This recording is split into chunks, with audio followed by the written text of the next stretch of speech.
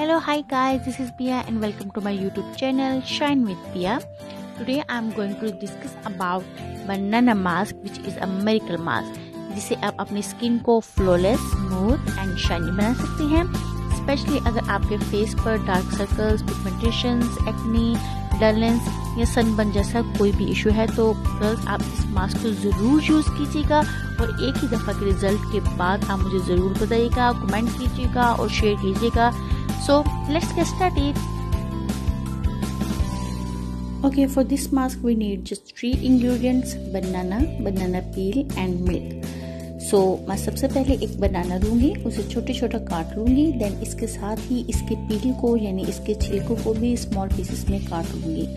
Then इसको juicer में डालकर थोड़ा सा मिल्क ऐड कर दूँगी और इसके एक स्मूथ सा पेस्ट बना लूँगी हमारा बनाना मास्क रेडी हो चुका है।